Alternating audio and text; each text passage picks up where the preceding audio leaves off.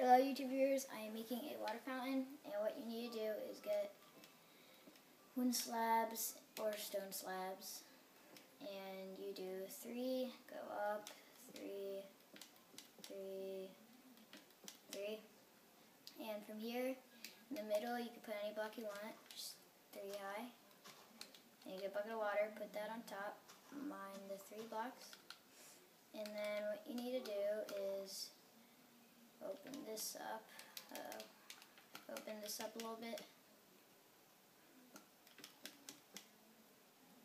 And then on the other side, probably about 1, 2, 3, 4, 5, 7, 8, 9, 10, 11, 12, 13, 14, probably about 14. Make another one.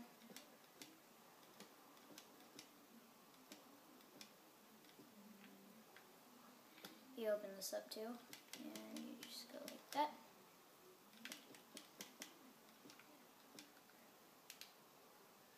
Do the same exact thing.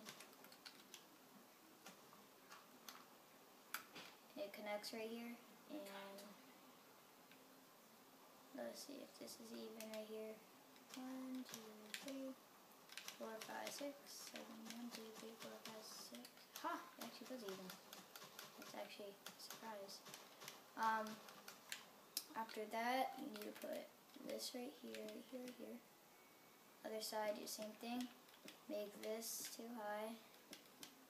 That, like that, like that. So it's like a little bridge.